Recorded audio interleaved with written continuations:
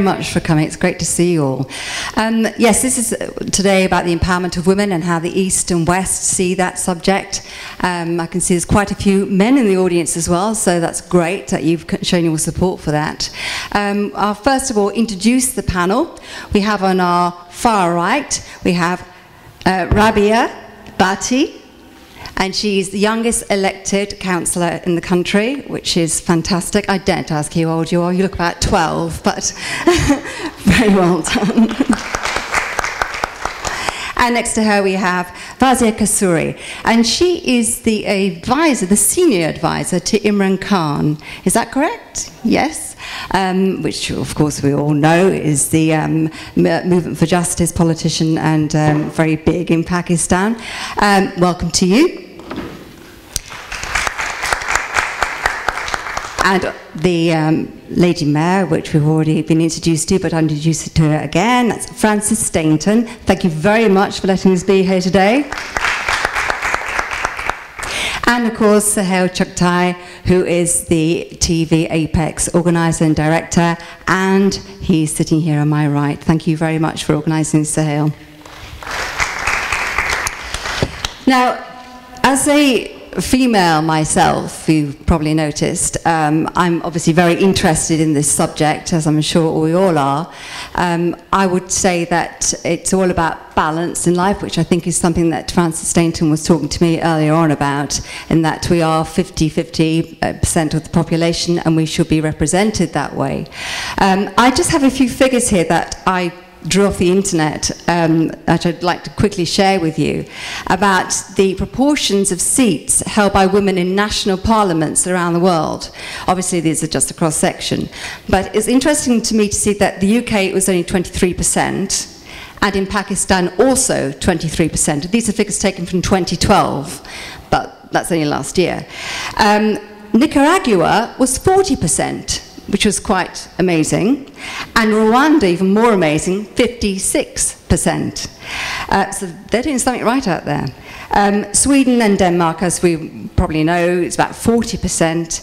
Um, Russia, 14%. And uh, Papua New Guinea, 3%. So we're not quite up there yet, but we're not quite there on the bottom. So um, I would like to first of all start off with um, Frances. Would you like to give your thoughts on this subject? Uh, sorry. Um, I would like to first of all start off with Sahel who will introduce this subject a little bit more, and then Frances will go to you. Thank you. I think this uh, term is not new, but I must thank uh, for, for, for, your patience first. You've been very, very patient today. And uh, I, I, welcome um, Rabia Bhatti, who is the youngest councillor, Mrs. Fawzia Kasuri, thank you very much, and Mayor Councillor um, uh, Frances Stainton. This term, women empowerment, is not new. I don't think I need to really go into details of that. Uh, but, but there is the whole history of West and East is glorified with examples of uh, strong ruling women. I mean, British history, you can look at the Queen Victoria, French history, Queen Mary, and then Muslim history, uh, Razia Sultana, some 700 years ago, was a, was a great empress. And uh, Prophet Muhammad's wife, uh, Aisha, she led the army fighting the battle. So Muslim and Asian and East and West have great history of Muslim empowerment, uh, women empowerment. But there are dark patches as well. There, there, there, there are moments when we should put our head down. For example, until 1857, women in West were not, did not have the right to take divorce. They could not ask for it. It was only applicable after 1857. And this is history. So there have been dark patches, and in spite of this right being imparted to Asian or Muslim women, they could not exercise it because of economic instability of themselves. They had no stance, financial stance, to go for a divorce. So there have been dark patches, there have been glorified history. The history of women empowerment is evolving. And the direction and the pace of that is governed by few variables like um, culture, religion. Uh, I think we should also include the socio-economic setup and the literacy of the, of, the, of the people because the men have to understand how important women empowerment is. So the literacy of the society is also important. When all these four variables are there, and I think then two definitions of one figure, one term can be right. Can be right. East and West may have their own definitions of women empowerment, and they can be equally right. You can't judge a woman, an Asian woman, let's say a Pakistani or Indian or Bangladeshi woman, not fully empowered by West standards. And that is the debate today. That we have to have, we have to accommodate what the East, Eastern woman is going through while she's being empowered. And I think, I, I really hope that towards the end of the speeches, there would be uh, very uh, sparking questions from the audience, very learned audience, and uh, we all like to take home uh, more information and be more educated on this particular topic. Thank you very much. Thank you. Okay, Frances, over to you. I think we're all rather fascinated with this topic of bringing together the East and West women, who some are in power and some are seeking power, and some have suffered from power against them. So we've got a lot to share together, and I think it's going to be a very interesting debate. I too am looking forward to the questions afterwards. Um, and I, I think that it's, it's really a, a, a variety of rather thought provoking circumstances which we can explore together. Um, from my own point of view, as life of a London mayor, that brings me into contact with a vast spectrum of women. And my personal feeling is that we need balance. We need men and we need women. They are absolutely essential to one another. And I think any, any good government, any good situation, be it in public or even in private life, we need that complementary skills of the male and the female. So I'm very much in favour of balance. And balance, in fact, is the secret of life, if you think about it. Many, many things come about through getting that balance of opportunity, or whatever the two things are, in the right proportion so that everybody has their fair chance. Um, and I think it's, uh, yes, I think I end up saying balance is, is uh, including both sexes, is really the ideal formula. Um, and I, of course, see it happening on a weekly basis because I hold a ceremony called the Citizens Ceremony when people become English citizens. And in fact, my dear friend Pauline Lyle Smith is an Australian by birth, but after many, many years of living in London, she decided to become a citizen. And sadly, I wasn't the mayor at that time. But she will know that this is a very interesting ceremony where we all get together. I would think every race in the world comes here, and it it's really a pause for thought. People are prepared to risk their lives to come and live in England illegally, anything to join our society. So those who come over and settle here and established themselves and are now, uh, through the various hoops of becoming a British citizen, do get a lot of rights. and we also say, and responsibilities. And in our ceremony, we end up singing God Save the Queen and, and, having made various vows, but they are basically to obey the laws of the country, but to be tolerant and to also to contribute as well as to receive. And that, I think, is the secret of it, because England, for many centuries, has welcomed every race in the world. We're multicultural, multi faith, multinational, and multi creed, and, and, I think that is our richness and our strength. And today, women are taking a part in England quite easily, to the point we've even had a prime minister. So we don't have a great deal of battle getting empowered here in England, but we're very conscious of other countries, and particularly in the East. And one that I uh, particularly uh, admire and am astounded by is little Malala Yousafzai.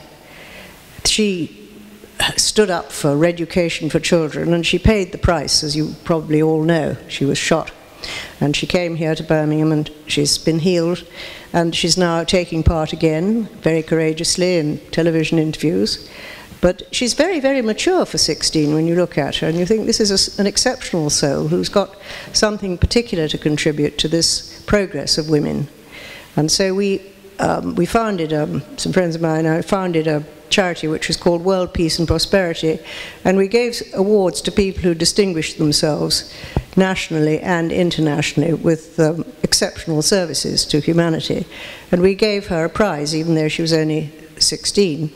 And I think that shows what, really, at any age, a woman can soar up into the spheres of influence, and it, it just is utterly natural, and we, we salute it and we respond to it, and we wish them all the best and hope that there are many such people coming forward. Um, what else was I going to talk to you about? I do think that I should say that mayors are, not, are known not to be political. In our term of office, we don't take part in any one political side because here, when I'm chairing the meetings, the meetings have the opposition and the administration, and they're probably fighting each other over something, and I have to keep them in order and make sure each gets a fair chance to put their, their arguments forward before we go to the vote, and then action is taken as a result. So I also look forward very much to um, hearing what the question and answers are. And I thank you for joining us today on this really very special occasion, which is entirely due to Apex's imaginative ideas. I've seen some of their programs, and each one I've found utterly enchanting and, and very informative. So I hope this one will be too. Thank you. Praise indeed. Thank you very much for that. Um, we're going to pass over now to Fazia Kasuri. And can I just say as well, when the speakers have had their, um, I think it's about five minutes they're speaking for each, then I'll take questions from the floor and observations and everything. So, Fazia. Good evening, Alaikum. Thank you very much for being here. And I'm very grateful to Dr. Chugtai and Lady Mayor and all of you for uh, giving me the opportunity to come to this beautiful building and be part of, you know, a subject that is uh, spoken of any, everywhere in the world today. Um, women are an integral part of any society. And um, I'm happy to hear from you, Andrea, that uh, touching on the commonalities between Britain and Pakistan, we have the same number, percentage of representatives in uh, political uh, forums and in the assemblies. And um, like you said, Lady Mayor, you've had a British prime, uh, a woman prime minister. We've had a woman prime minister too, so that is something good. About women empowerment. Now, the way I look at it is, I think it's all about opportunities. There is a growing discussion and debate all over the world on the importance of uh, the role of women uh, in all their respective countries. Now, uh, specifically in reference to Pakistan, more than half of the population of Pakistan comprises of women. And there is not a field, to my knowledge, in Pakistan where we will not see women participation. And not just that, but women excelling in the professions that they have adopted. Whether it is just grassroots community work, whether it is tending to the fields in, you know, in agriculture, whether it is the teaching profession. Uh, Pakistani female students are creating world records. And incidentally, as you all may be aware, a record has just been created recently. He's, it's by a young man, but he got 47 A's in his O level and A levels with the Cambridge University. So it's a world record. But I promise you that um, women, young girls today in the education sector are excelling boys. I mean, they're exceeding them in their performances and everything else. So the way I look at it is that women empowerment will come through equal opportunities, political participation, economic opportunities. Um, Asian countries, and especially in reference to Pakistan, um, the rural women are somehow more at a disadvantage than the women in the urban areas of our country. And women uh, in the rural areas uh, comprise of the majority. They are the bulk of the population, the female population in our country.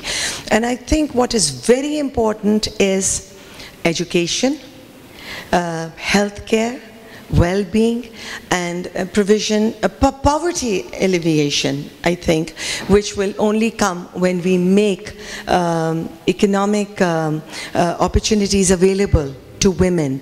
We have to facilitate them. They need an environment which can be conducive to their growth.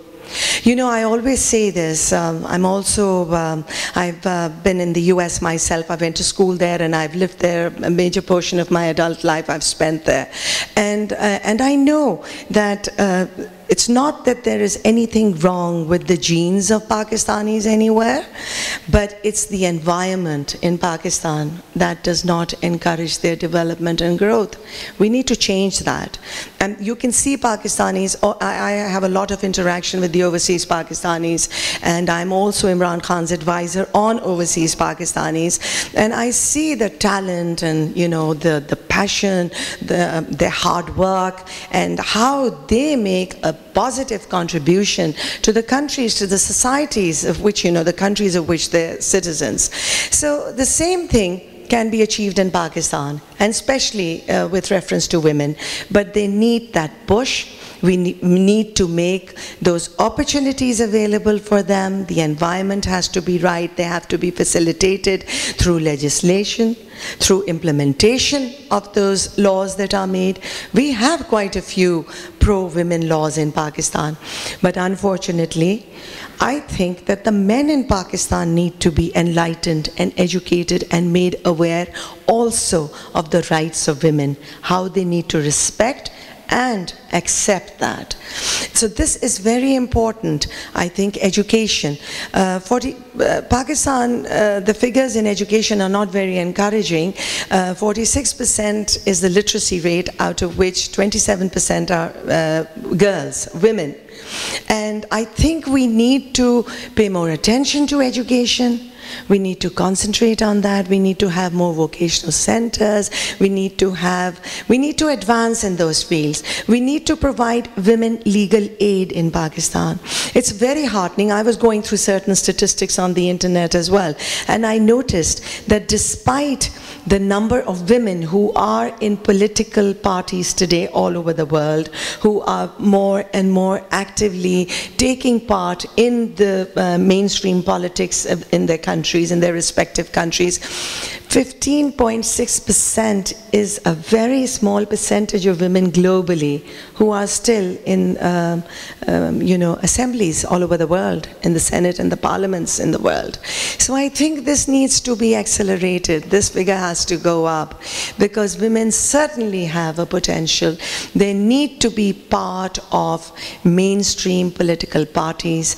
It has to be made mandatory on the parties, especially in reference to Pakistan, to um, you know, have as special measures to create those quotas, to uh, encourage women, to wean them into the systems. Because in a country like Pakistan, women, their mobility is restricted. They are financially not capable. Their, their education, their, their, their discrimination when it comes to educating women. Uh, families will pay more attention to sending their boys to school instead of the girls. So all this has to change considering the intelligence and the, the potential that women have to grow in, in our country as well. So I think what we really need to do is we need to take this debate and uh, uh, have you know, uh, discussions, uh, a very vigorous uh, campaign needs to be conducted all over the world because generally women have the same issues. I mean, even if you look at the United States today, I was reading on healthcare, and in the United States, 90% of the the people who suffer from AIDS, women are the ones who are affected. They're in the larger majority. And obviously, if we look globally, uh, in the ranking of countries, um, it saddens me to see that Pakistan is at number 56 when it comes to women empowerment. The Nordic countries in Europe, of course, take the lead, and Sweden is one of the best countries in the world for women, where they have actually, you know, women have always uh, been the marginalized gender. But this is something which is getting a lot of attention in the Western world because of uh, you know proper institutions here, more education, and uh, they realize that uh, you know women can be significant uh, role models and they are important players in the success and the national development programs of any country. So they pay more attention to them, and um, you know whatever little role women like me are playing in Pakistan. Of course, I belong to a political party, and I belong to a party where we feel that we have provided a platform to the youth and women. And my work is not just um, restricted to women. When we speak of gender empowerment, we're talking about youth as well. You know, we, like the lady mayor said, I couldn't agree more with anyone that, you know, empowerment should be across the board for men and women. We need, we're not against men. We, we want to uh, have a provision of equal opportunities for women as well, which has not been the case. But there is a trend a changing trend which is developing in the entire world. The United Nations is very actively working on it.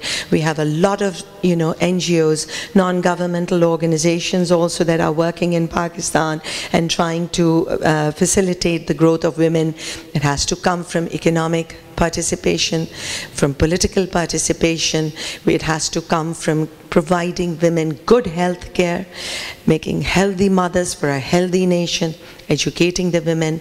And um, it's all there and giving them a meaningful voice in their communities and in their societies so they can play a constructive role in the development of their country. And of course, later on, we'll take questions and answers. Right? Thank you very much. Fazia Kasuri, thank you very much. Um, it's interesting you say about 15% of um, the women are, um, uh, did you say across the board, worldwide, represented in parliaments? About 15%, you said. 15.6%. Because I worked out, 15.6%, okay, I worked out that we've got about 15% representation in our cabinet at the moment of women. So we're not that progressed, I don't think, at all. I think there's um, something like 5 out of 31 in the cabinet. So Mr Cameron has to get his uh, act together on that one, I think. Um, Three out of seven, so that's Three out of seven, there you go. Whee. Okay, and someone who might know more about this than me is our um, last speaker, Rabia Bhatti. All right, thank you, ladies and gentlemen, uh, for having me. And after an entirely illuminating discussion that our panel have already touched upon, I don't really know what else to say, but I shall try my best. Um, to begin with, I would like to thank both the men and women behind this evening's wonderful debate, and of course to TV Apex for hosting us. It is an absolute pleasure to be here tonight to talk and address an issue that is incredibly close to my heart, an issue that's echoed in the corridors of Whitehall, in the halls of Westminster, and indeed today in these very council chambers. When I think about Pakistan, of women, of empowerment, of progress, the concept goes hand in hand with an image of strife, tensions in global politics, challenges, inequality, and injustice. And yet, this image is not one that the women of Pakistan, or indeed the public of Pakistan, resonate with, and indeed rightly so. Despite being beset with a growing number of problems, issues, and calamities, the nation and those that dwell within its borders are making a statement of dedication day in and day out. And this is because they understand that there can be no true understanding or trust in a country divided by walls. Not only those walls, ladies and gentlemen, built of concrete and stone, but those walls we erect in our minds. Around the globe, in villages and cities, in times of stability and crisis, women are often the ones responsible for keeping communities thriving. We are the ones who nurture the bonds of family and friendship, who care for elderly relatives, volunteer in our children's classrooms, and organize community events that serve the common good. We know from experience that sharing a neighborhood is not the same as being good neighbors any more than eating French fries is indeed about being French. We understand that empowering one another means actively reaching out and inviting one another into our homes to talk, but more importantly, ladies and gentlemen, to listen. And we have learned that often when we exchange the details of our lives, the superficial factors that seemingly divide us fade away.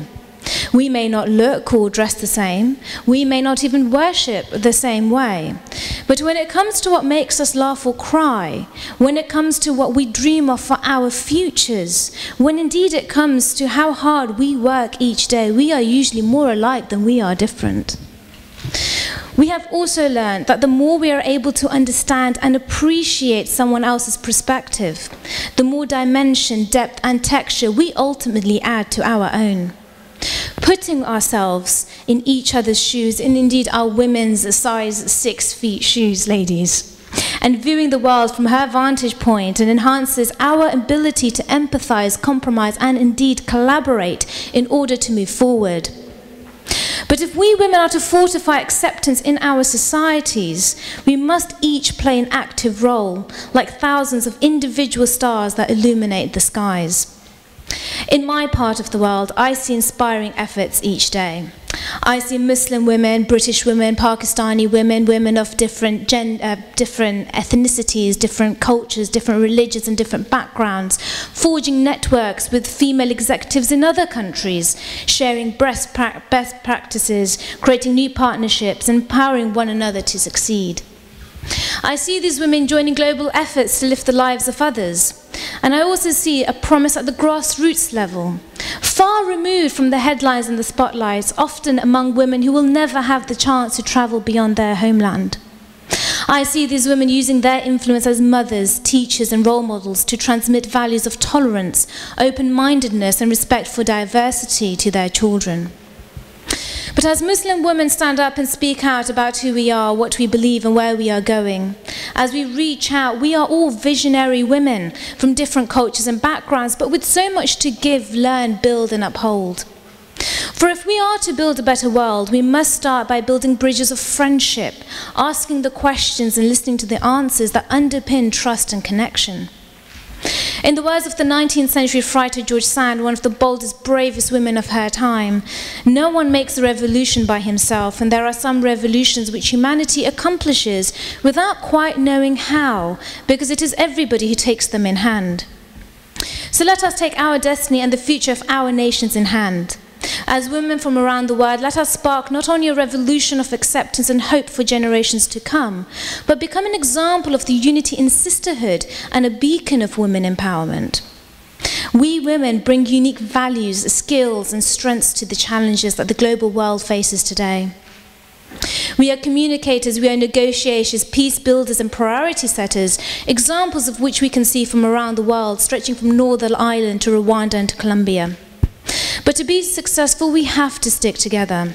We have to support one another, not only at home, but across the boundaries of geography, culture, and race, and show by example that what humanity has in common is more powerful than anything that can divide us.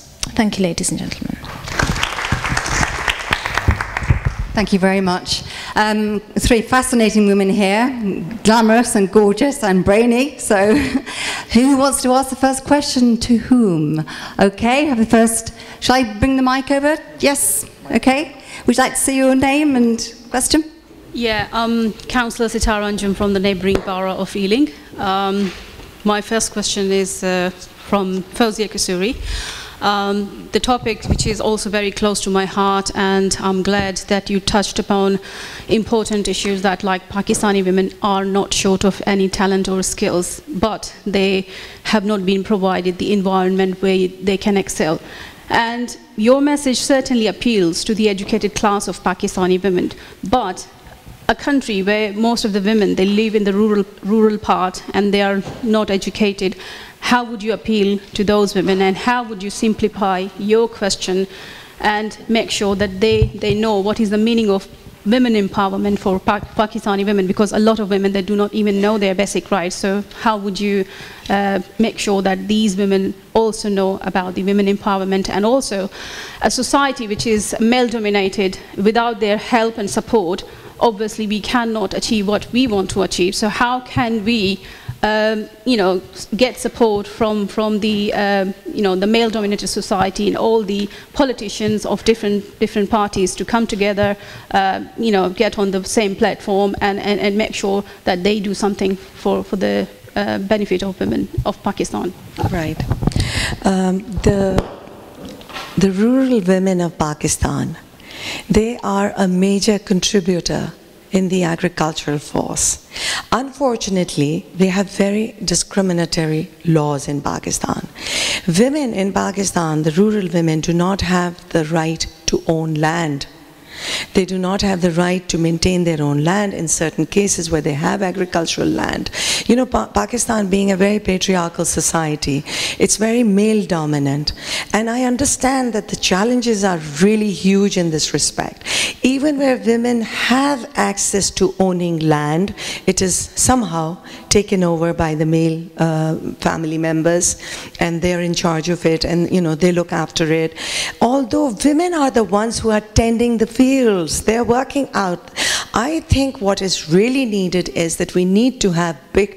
time land reforms in Pakistan. We have to enable women to have property rights, to own that land, to till that land, to work on it, and then, you know, to avail of the fruits that come from that land. So this is, it's not easy. You're absolutely right. It is not easy. Then again, you know, once I think why I say poverty alleviation, if we take the example of Bangladesh, Bangladesh, and if we take the example of Grameen Bank and BRAC, I mean, these are world-renowned institutions. I mean, they have brought about a revolution in Bangladesh only by empowering women through these small petty loans. You know, my daughter, uh, she um, graduated from the University of Virginia this year in anthropology and economics, and she went to Grameen Bank and interned with Dr. Yunus there for three months. She actually saw it herself, and I just felt so proud when I heard, we read it, but you know, when you hear from somebody firsthand and they've seen it, the women in the villages of Bangladesh are those women who now own the factories, they own their homes, and they are employing their sons and husbands in those factories. So, you know, I mean, it just shows that if you equip the women with the uh, support that they need, with the tools, with the education, with a little bit of training, and give them that little bit of push that they need. They will make it happen.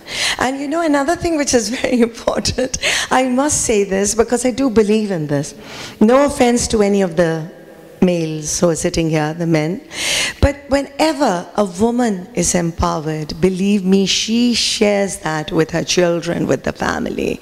If you give women money, they're going to buy clothes for their children. They'll think of sending their kids to school. Not all men do that. You know, men have other distractions in life. But women, they're only the mother is thinking about her child. She's thinking how best she can help the, uh, you know, shape the future of her child.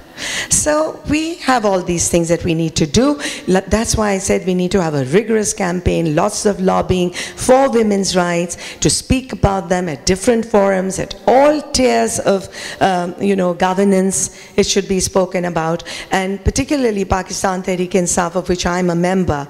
Uh, we have a very, um, uh, very good local bodies empowerment program where we feel that empowerment of the people has to come from the bottom up. So you, um, uh, you know, empower those at, at, the grassroots level, at the village levels. They are the ones who will take care of their communities. And we want to bring that awareness in women. And I, as a political activist, when I'm out in the field in Pakistan and I go to different, um, you know, villages and in the rural areas, I always tell the women that they should come forward in their communities to do something, to contest the local body's election. Be there, make a difference, be a real voice in your community. But it'll need time.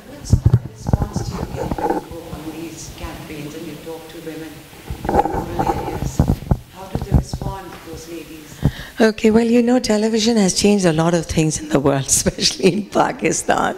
So, whereas, you know, I mean, uh, our uh, rural areas, there's not so much literacy and they don't have access to, in, you know, uh, technologies like the internet or newspapers and things like that. So, but they all have television, they all have the cable, and, you know, they see images. So, in a way, it's just what media has done in Pakistan is just fantastic because it's brought everyone like it was happening in your neighborhood. So you actually see, you know, like they say, seeing is believing. So you see a lot of the misery, you see the problems, you see the discussions, you hear them, and it registers better with you. And believe me that the women in the rural areas of Pakistan also are quite aware, but for, just from watching television, and they find it very nice, they love it that, you know, there are women like us who don't have their heads covered, but we're talking about women's rights and we want them to, to go to school. And, you know, I mean, they find, they may have their heads covered, nothing against that. That's perfectly fine. Everyone's entitled to be the way they are. But it's like they receive us like, you know, we are women. And like I said, anywhere in the world, I think globally, women relate to their issues because they're common issues, common problems that women face all over the world. Very much. Um, Natasha Sheikh, who um, is the uh, Global Art and Cultural Foundation, is that correct? Would you like just to say a few words for us? Thank you. Thank you. Yes, um, firstly, uh, good evening to everybody. Uh, Mayor of Hammersmith, Dr. Sohel Chugtai, Mrs. Fawzia Kasuri, and the rest of the councillors. And ladies and gentlemen, good evening. My name is Natasha, as was just said. I've heard the discussion, which is uh, so brilliant, and in my project as well. We do a lot of uh, recognizing and promoting women who are empowered and empowering women. What has been discussed is fine. Uh, we are absolutely aware there's a lot of empowered women like yourself back in Pakistan. There's a lot of empowered women here as well. However, what I see different in Pakistan or Pakistani women, I can walk around as I am right now on my own without my husband, who is actually with me today. But I would be fine. I'm still empowered enough to be bold enough to walk out, do what I have to do. I'm a an activist with the local political party. And I'm able to do all that. But back from Pakistan, when we have all these empowered women and they're so good and they're so brilliant and like you, so vocal and so knowledgeable, we still need the support of men. Somehow or the other, we need that male figure with us. We need our husband or our partner or our father or a brother with us to walk with us stand maybe behind, which is good because you're the empowered person there, but we need that. In all this, the immense thing is, I think that's wonderful that we accept it as our culture. There is no denying the fact that that is a support which is well needed in a culture like Pakistan. So we're not trying to get rid of that culture. It's brilliant. You have the support if family is supporting or a member or a cousin or whoever is supporting, that's brilliant. But this is an opportunity that you have as a minority. This opportunity is not available to so many other women as a majority. And those women, mind you, are very empowered within the four walls of their houses. They manage the budget, they manage the children, they decide which school goes to, as we were discussing earlier. Women do everything. They're so empowered back in Pakistan, especially in the rural areas. They decide each and everything, except for uh, like Raman Bhai said, buying a car, that's when the man puts his foot down and says, no, I'm going to decide that. Same the, here. The, yeah. the thing is, with those women, being empowered at home is brilliant. Yes, that is really important. But to bring them out and have them empowered outside, I believe the men need to be empowered in themselves and to be tolerant enough and to be exposed to the fact and to know and understand and support their wives or you know whoever it is the woman in their house to be able to not be threatened that there's a woman in my house who is so empowered she's bold enough to go out there take a step do something in her life. Now my question would be how would you, and you being an advisor, and I, I read uh, advisor to Imran Khan on uh, women's issues, how would you go about educating these men, particularly? And it's not just to the rural areas, it is all over. And it's here as well. It's not that it doesn't exist here, but it doesn't, it, not in such a huge amount, but back in Pakistan, it is very much in your face, it's in everybody's daily life. How would you, or what, what policy would you bring in place to actually educate these people, the men, to not feel threatened by a woman who's strong enough to, and vocal enough and empowered enough to actually go out, make a difference, and make your own country better? Okay, so that's the question. Here's the mic for the answer. How would you educate men? That's the one. Okay, so the way I look at it, Natasha, you, you know, you made a very valid point, and I said that earlier as well. You know, there's a particular mindset and especially in countries where we're from.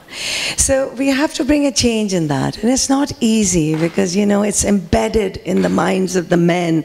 They are the people who take charge. They're the people who uh, are the, you know, the uh, head of the family. And um, it's not easy. But how we crack through that, I personally feel, is through strong institutions. We need to have institutions in Pakistan Pakistan we need to have laws that are implemented in Pakistan. We have a lot of good laws on paper, but they're never implemented. We never see anyone who is punished or, you know, de deprived of something useful to them because they broke a law. We don't see, um, uh, you know, crimes are committed all the time, and it's the rule of the mighty, and it's all people who have a lot of clout and political influence. They get away with murder. So this is not right. It has to change. And I'll give you a very brief example. By the way, aap Rashid Rahman saab? Okay, all right, I wasn't sure. okay, so uh, I'll give you a very brief example that um, there was a senator from Balochistan, and uh, there was an incident that happened in Balochistan about uh, six, seven years ago that uh, four or five women were burnt alive, right, in fire. And the senator uh, who did that, who was responsible for that, uh, when uh, the women's uh, female senators in the Senate uh, spoke about it, and we all did too. I mean, we were not in the Senate, but we spoke about it and raised a hue and cry in the media. I mean, what an atrocity! What a horrendous crime it was, and that this senator should be taken to task. So Asif Ali Zardari, who was the president at the time, he actually appointed him in the cabinet in return for that. So, I mean, you see, I mean, what a gross violation, what an insult to the intelligence of people like us or anybody for that matter. But how do you fight that system? How do you fight this anomaly?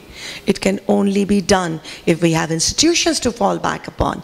In the civilized Western world, they have institutions. It doesn't matter. A person's not that important. It is the institution that matters. It is the system. It is the justice system. It is the way things are done in civilized societies. So we need, we need to work on those in Pakistan. And gradually, with the passage of time, it will be a slow process, but it will happen. But we have to try our best and just keep working at it. That's the best I can say. Right, thank you very much for that. Um, any more questions? Uh, do we have um, a, uh, the, I can't read his writing here. Mrs. Bashant Rafiq? Yes. She, she's the president of the All Pakistan Women Association of UK, and she, she, she should take that seat. Thank you so much. This is very, very, very, I'm honored. Yes. Uh, I was uh, just listening to this. It's a very good question of how, what do you do? How do you make men start to take account of the women that are a part of their lives? Yesterday, we had Asma Jahangir talk at a gathering, and she insisted that more women should be invited. And I also wrote to a lot of women from my organization to come. And there must have been a ratio of about 5% women and 95% men. I request all of you here, and especially the gentlemen, that when you go to any such sessions, please bring your wives and your daughters with you. Please. It's not that there are no women, but you all leave them behind. The other thing Fawzia just mentioned, that it's a long process to educate people. One of the greatest things I have learned in this country is how when people were drinking and driving and people were being killed on the streets, the British government started a, pro, a program on television which says uh, about drinking and driving. The other thing about seat belts, clunk click every trip. And by the time these, these things came up on television, we were unconsciously, wherever we went, we just felt for the belt to put it on. There were so many people who would not drink if they went out, and they changed the idea. And this, I think, is something that you have to do about women in Pakistani culture, that they have to be brought out. I mean, amazing women, amazing daughters, amazing wives. If you get half the nation to stand up, Pakistan will be way ahead of itself. 52% women. And they are holding this, that country up on their shoulders without ever being acknowledged. And I think that has to be done, and governments can only do it. Uh, organizations, NGOs can't do it. And you are in government, and you're going to no, do it. Not in government. You will be, you will be. No, but it's not. I mean, thank you. Thank you for being there. Thank Thank you. Any more questions on the floor? Hi. Um, drawing upon what Natasha, Miss, this is for Mrs. Kasuri. Uh, drawing upon what sort of Natasha asked you and your response, um, you mentioned that I think one of the channels or mediums through which you can bring that change is uh, strengthening and establishing institutions. Um, one of the biggest institutions in Pakistan, I feel, is religion. Um, do you think if Pakistan was a secular society, women would be more empowered? It's a very sensitive and tricky question you've asked me to put me on the spot. But my personal opinion, I think religion is a very personal thing between a person and their God. And personally speaking, again, and I'm not speaking for my party, I, I respect human beings who can help others, who can assist others, who um, you know will go out of their way to reach out for those who are not as privileged as they are. I really don't care who they are uh, praying to, who their God is, because I have always maintained and felt that uh, Allah is Rabbul Alameen which means that He is the Allah of the entire universe. He's not just the God of Muslims. So I don't know what else to say. I think that religion is very important. It plays a very significant role in the lives of each and every human being, but then it is something personal to us. And I think that uh, politics and religion can coexist together, but they don't necessarily have to be intermingled, or um, we can't say that there can be no politics without religion, or vice versa.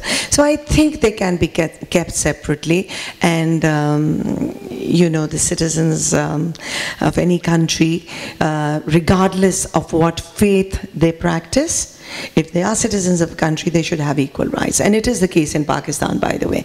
All citizens of Pakistan, according to the constitution of Pakistan, have the same rights.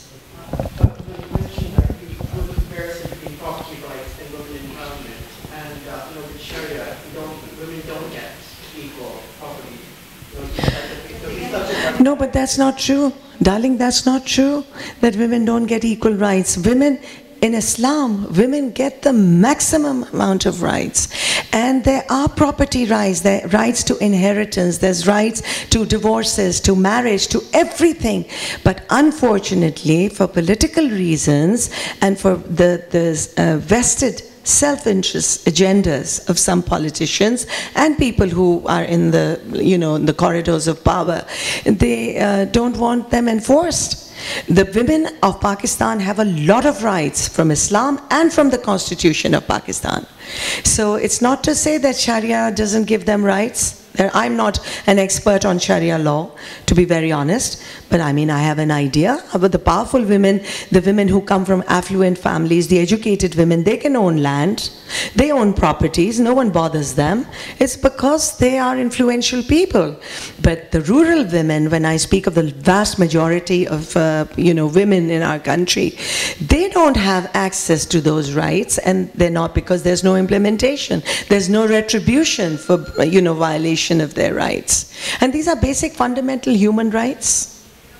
So, okay, and the lady on my left who's been waiting patiently, so you are. On.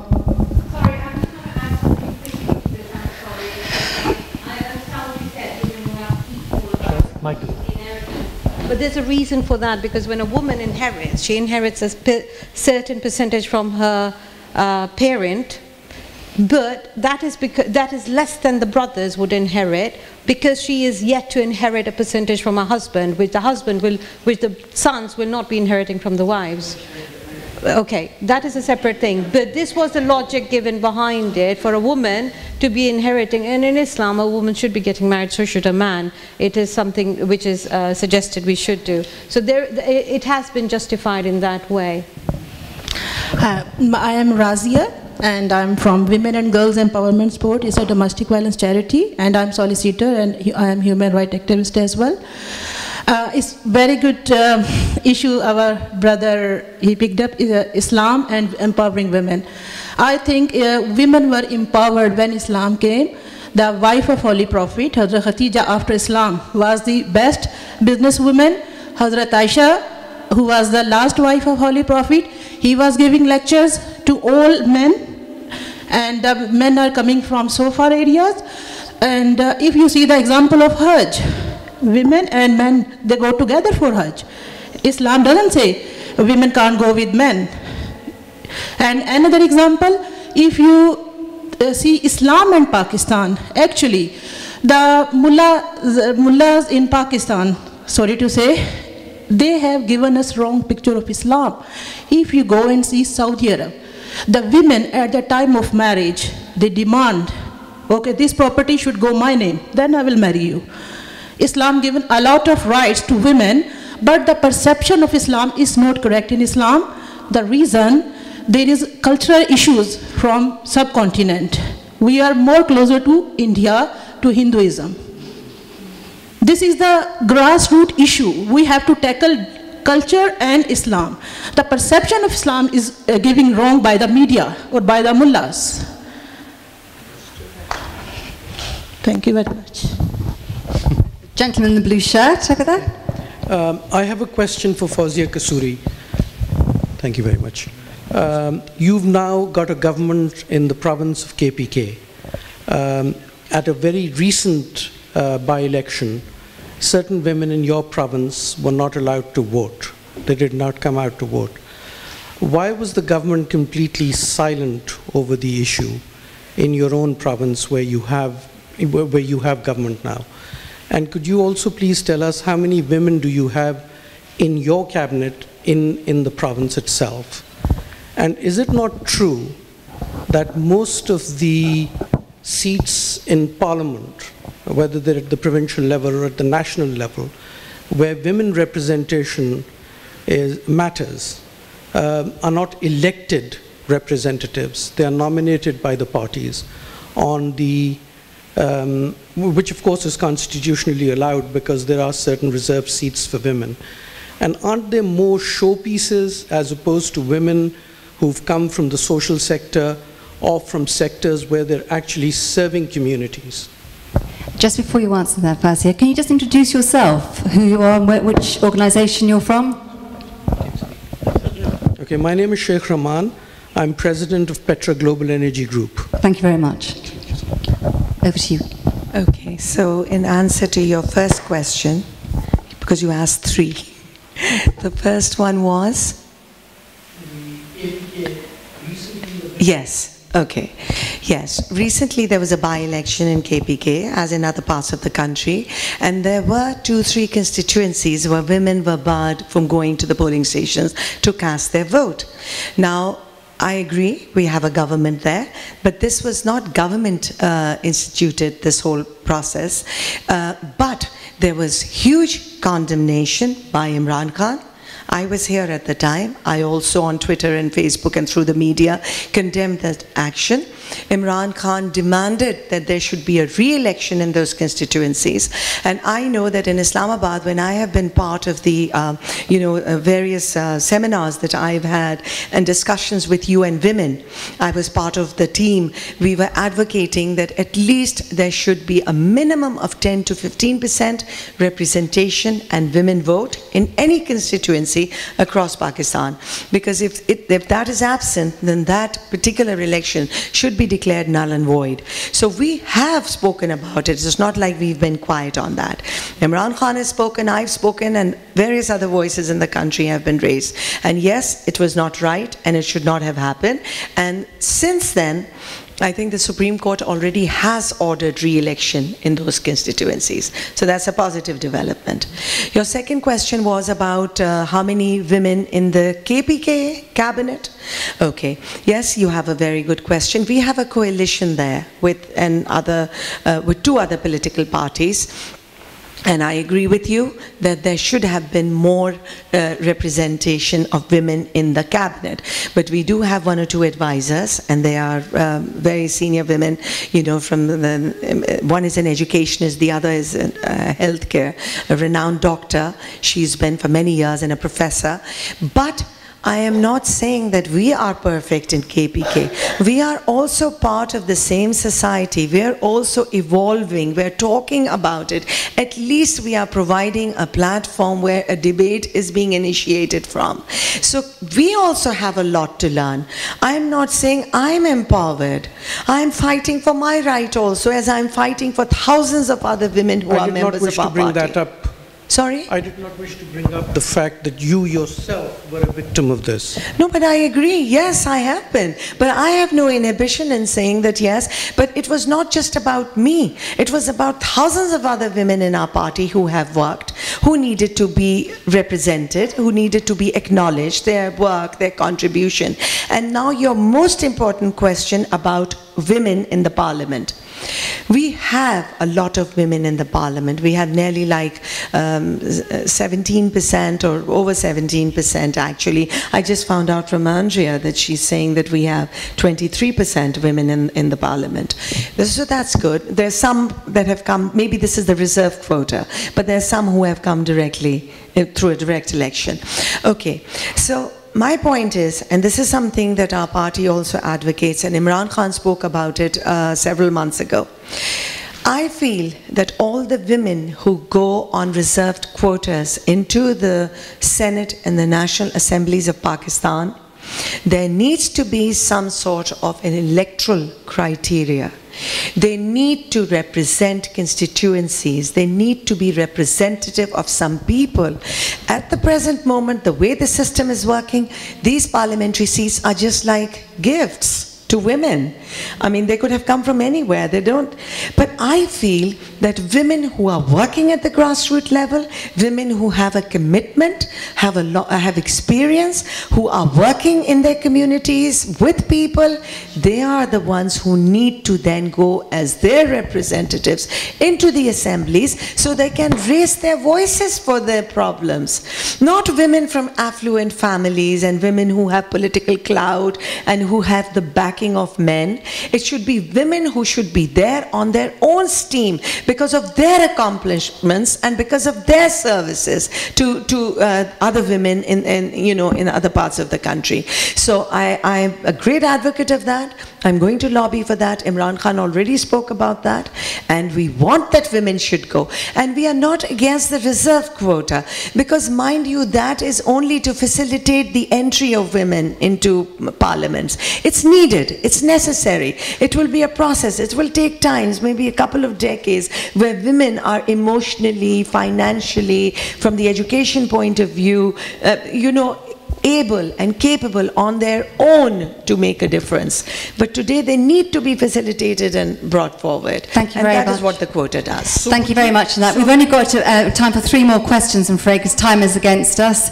So we'll have to, to move on to someone who hasn't asked a question. Would you be able to promise that you would strive to do that and achieve that during your parliamentary term, at least in the KPK province? Asking No, a politician to make is- I will answer this very quickly, but I think it would be nice if some questions could be addressed to Lady Mayor as well. Exactly. I know that this is a predominantly audience that is interested in Pakistan. I can promise that we'll try. What we can achieve, I cannot guarantee, neither can I promise. But I promise as an individual, and because I work with lots of women and youth, and I'm very passionate about what I do, that I'm going to give it my best. I'm going to raise my voice. You support me. Okay, uh, gentleman over there, can you introduce yourself, please, before you say? Yeah, my name is Harris. I'm currently an economics and finance student. Um, what I've noticed about Pakistan is every time I visited is that the family system is very strong there. It's a very family-oriented structure. So where would you set the limit between women being empowered and over-empowered, where I feel that would compromise like the family system in Pakistan? I'd appreciate if you can answer. Thank you very much. Good question. Right now, we're not even focusing on over empowerment. right now, we haven't even gotten to the basic first step. It's a long process.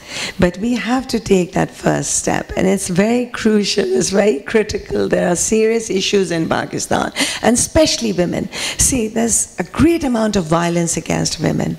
And you know, we have to fight that. There are all these old um, traditional hated laws that, uh, you know, take away from the self-esteem of women, um, you know, that uh, leave women lonely, desolate, alone, and uh, financially they're so dependent on the males. So we have to improve a lot of things. So over-empowerment will come much later. I don't think there's any other, any woman in Pakistan, even uh, if I may take the liberty of making this comment, Benazir Bhutto was the Prime Minister of Pakistan, but she was not over-empowered. Most people have the impression that um, things really went wrong after her marriage. So there are issues, you know, there are lots of issues, but women have to make an effort and we have to keep talking about it. And maybe collectively, you know, someday we will see some improvement. Okay, thank you. Um, Mrs. Durdana. My name is Durdana and I'm the Chief Executive of Pearl Education Foundation. Um, our slogan is margins to mainstream. And we started with just 100 Muslim women in this country to educate them just by basic English language. Now we've gone up to like 8,000 students uh, in the last six years. Uh, my point is that fine, yes, we started with just a group of Muslim women, but at the same time, I think we needed to integrate them. In order to integrate them into the main society, you have to get other people, other communities as well. And that's what we have done, is that we've got uh, yesterday I was in one of my um, centers and we we had in one classroom, we had seven, 18 nationalities sitting there, which is an amazing thing that a Muslim, thank you, a Muslim woman, woman wearing a burqa and a Muslim, her husband, a Jewish sitting across this uh, board. And then you've got some young European uh, students coming, uh, recently arri arrival. Um, these are the things that we need to find. We don't understand. I don't come from a political background. Neither I would like to. When it comes to talk about working for the, for the masses, working for the real people, my question is, if I would like to take our project, I've been asked several times to take our project to extend it there. We're taking it to Sri Lanka, we're taking it to Bangladesh. I would love to take it to Pakistan. Pakistan is my motherland. Britain is my homeland. We've been living here for so many years. But uh, my heart is obviously is there. I like to go and help people out there. What, is, what about the class system? How do you tackle with that? What about the security? You don't want to have another Malala there. I'm not talking, I mean, there are so many lovely, beautiful girls. I've seen them in mountains, in, in Kashmir, whenever I travel there. You see some beautiful girls, little girls, six years, seven years old girl. They are walking up six miles up into the mountain. Where are you going? I'm going to up to school. So it doesn't mean that girls are not going to school in Pakistan. So please don't think that nothing nice is happening in Pakistan. I know for the fact because I have spent a lot of time during my BBC period in Pakistan in very rural areas. So how do we do that?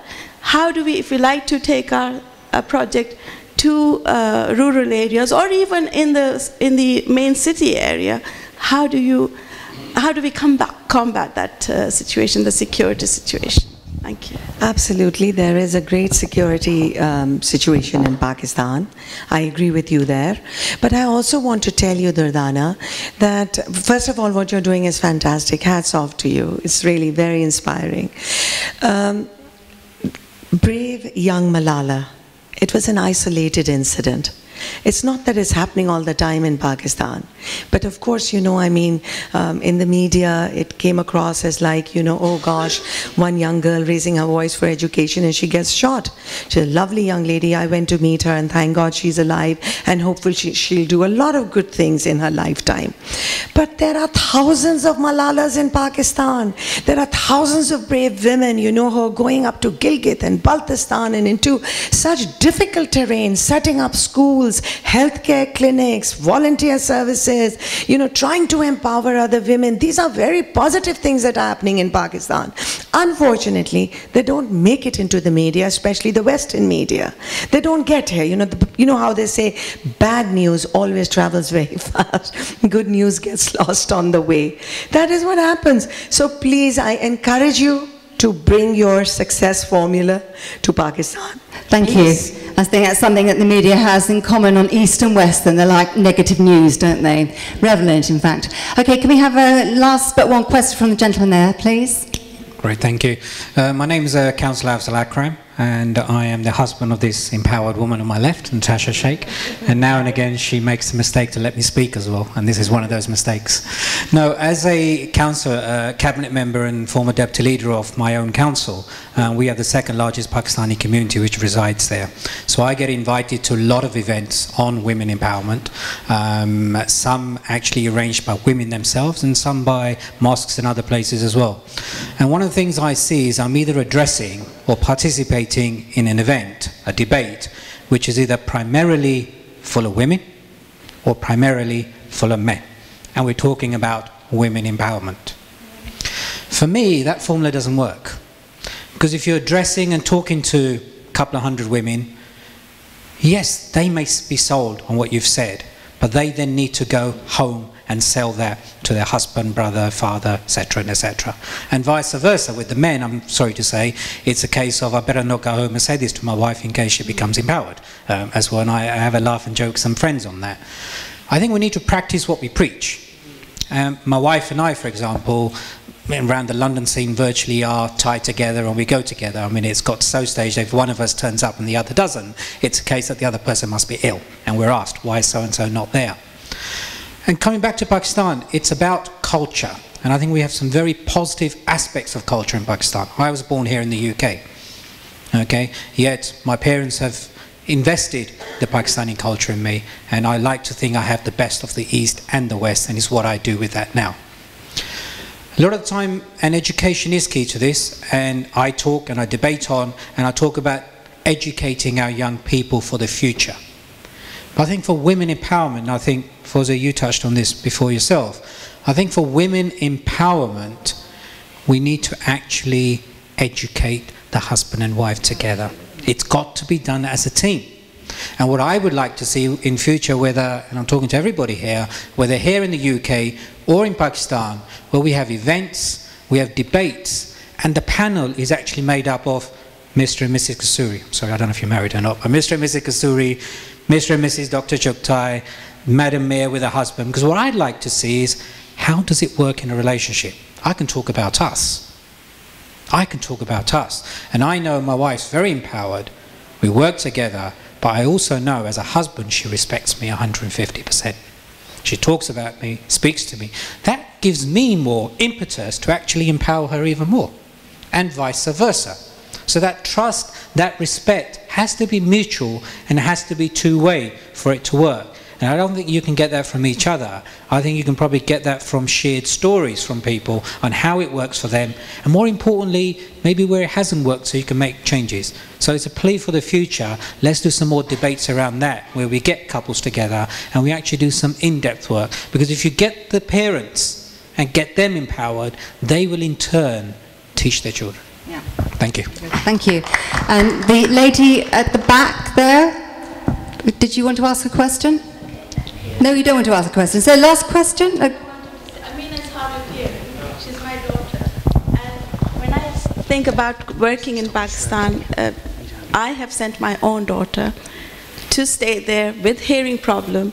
Going into for three years, she stayed there alone. So that is an example that how much we love uh, to work and help. And I would, you know, I, I think it'd be really nice if Amina can express some words. Hi, um, my name is Amina Isai. I'm an artist at Peak every day. So basically, when I was born, I could not be able to read, write, talk. I just survive now. And when I went to Lahore, it was um, a culture shock for me. It times up, um, how can I explain, humanity, special needs, um, communication.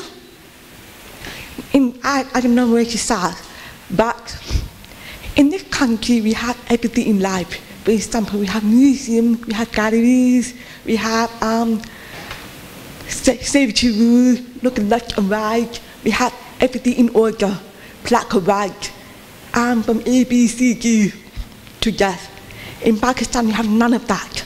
But in small minority level, I feel that I had a lot to catch up.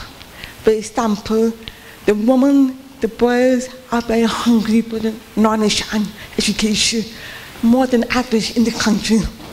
They are aware of the education, the knowledge in the museum, more than the people in the country.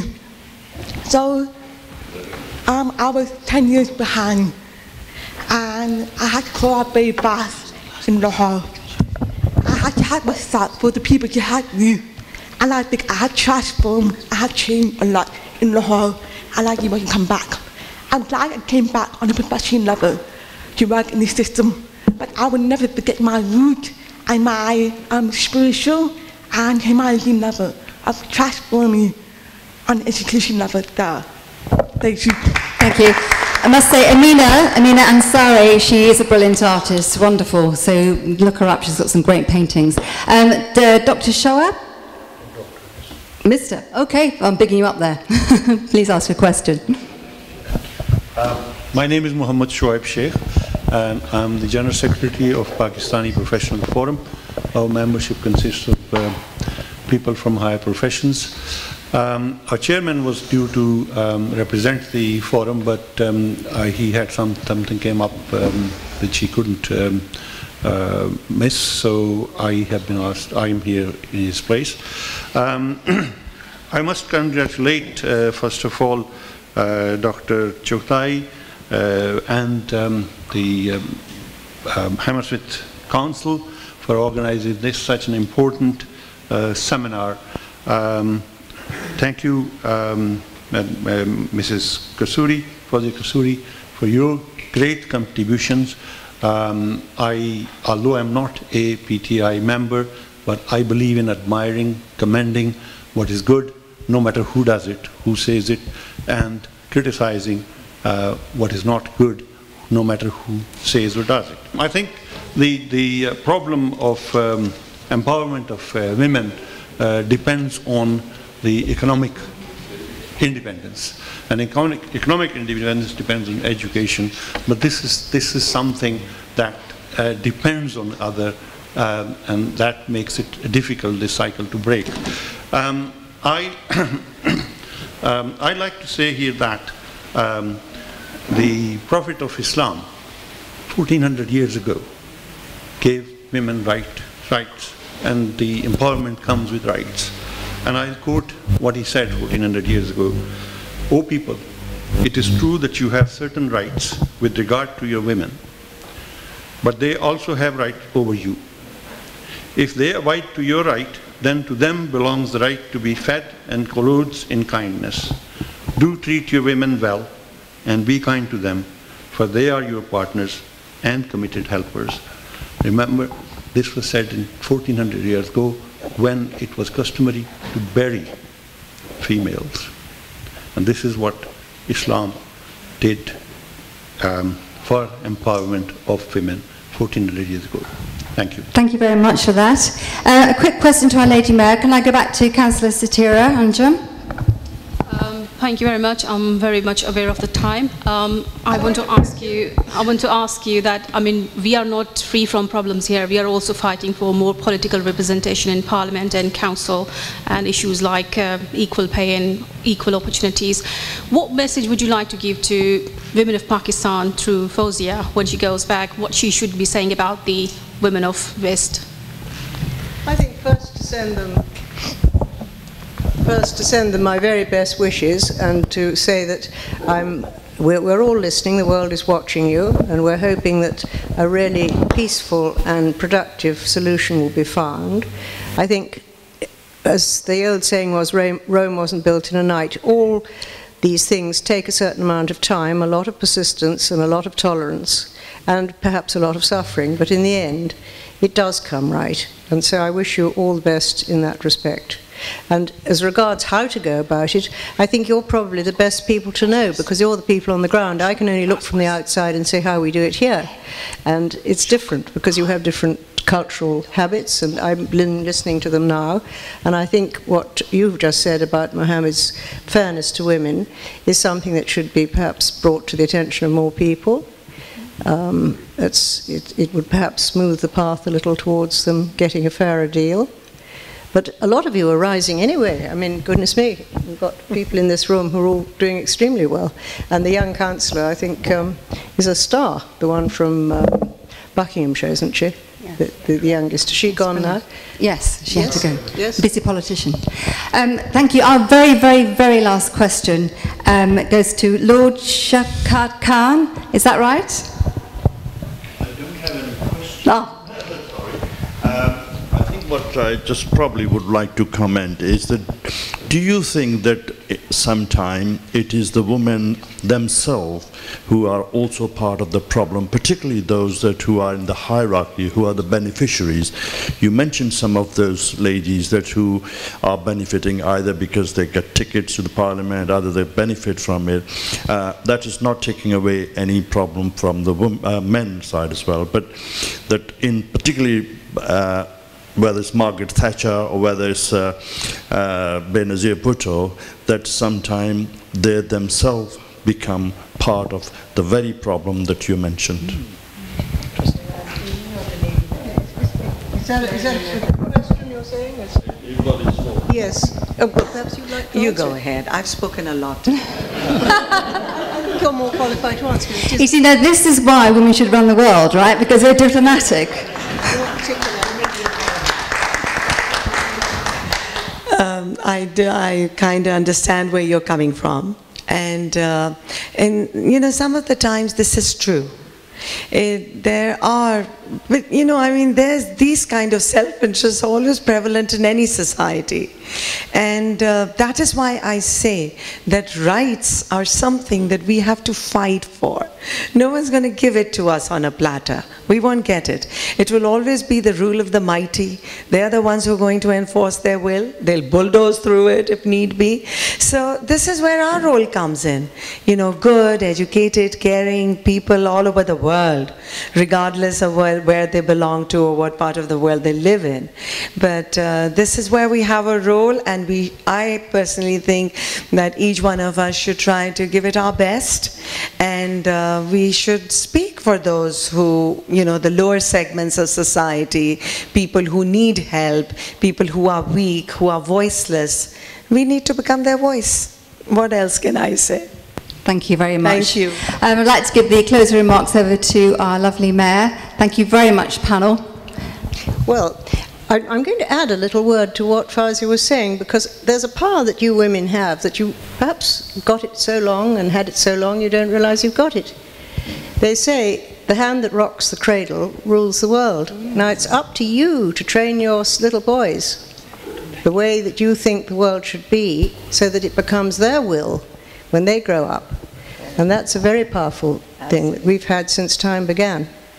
any rate, what I'd now like to do is to say I've been very interested in hearing all that you have to say. I think we've all learnt something, and we've all, I think pretty well everybody's managed to say something one way or another. I'd like to thank our host very much, and Chughtai for doing, as usual, brilliant arrangement of everything, and even overcoming the appalling traffic jam of three hours. He's pulled the event off in the end, and thank you to his staff too, who, the IT boys and all the rest, and, and to you, of course, been a marvellous organiser. So thank you for coming, wish you all the very best, and we'll look forward to seeing the programme. Thank you. I just like to uh, uh, close this program on the note of thank you, and also want to say one thing that in certain societies, women empowerment is a, is pulling up, but in some societies it's only a handshake, and that is the definition, the difference of definition of women empowerment in Eastern and Western culture. Let's not define it by one definition, but accept that it can differ from West to East. Thank you very much. Thank you. Thank you.